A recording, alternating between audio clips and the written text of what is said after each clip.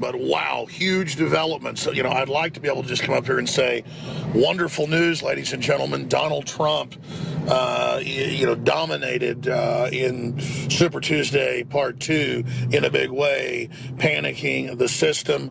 Rubio is is clearly sinking the establishment candidate. Uh, we have seen a Cruz surge overall, clearly into second place, but the really big issue here uh, you know, dominated uh, in Super Tuesday Part Two in a big way, panicking the system. Rubio is is clearly sinking the establishment candidate. Uh, we have seen a Cruz surge. Of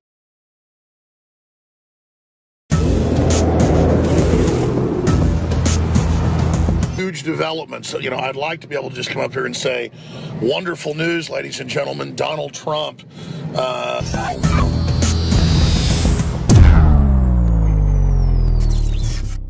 But wow, huge.